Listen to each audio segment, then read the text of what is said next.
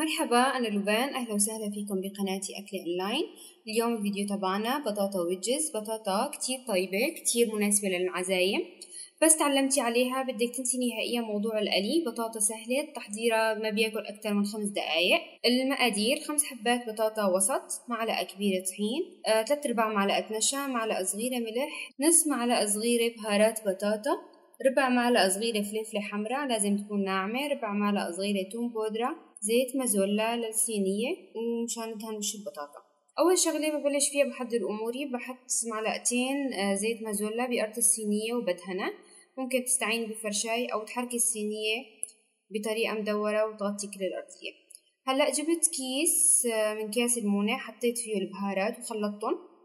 بالنسبة لموضوع التقطيع كنت قبل أقطع الحبة أربع أرباع بس بعدين صرت أقطعها أكتر لأني صرت أحبها أرق. آه هذا الموضوع انت بتتعودي عليه بس بلشتي تعمليه وتجربيه رح تلاقي انه انت صرتي بتحبيها هيك بدل هيك. آه بالنسبة للفلفل الحمراء أنا عدتها تكون أنعم من هيك بس أنا اللي عندي فلفل خشنة واللي عندها أطفال صغار رح كتير يحبوا هالبطاطا ممكن تستغني عن هالمقدار. هلأ حطيتهم بكيس آه، نفخت الكيس وحركتهم. هي أسهل طريقة حتى إنه انت تغلفي فيها أي شيء فضيتهم آه، فرد مرة بالصينية. الصينية لازم تكون تيفال. هي كتير مهمة صينية الألمنيوم ما بزبط أبدا فيها الموضوع. أو أنا هاي الصينية هلأ هي ما تيفال بس بعرفة إنه هي ما بيلزق فيها أي شيء مثلا إذا عملت فيها بيتزا ما بتلزق. فهي الصينية كتير مناسبة.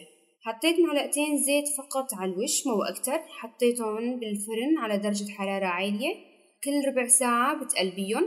لازم ضروري هالموضوع تحاولي تقلبيهم على الوش اللي هو ما إجا حرارة.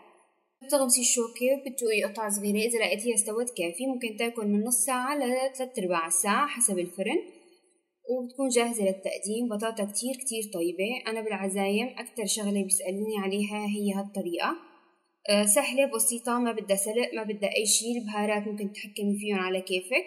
أما الفيديو الجاي رح يكون أه سمبوسك بعجينة كتير هشة.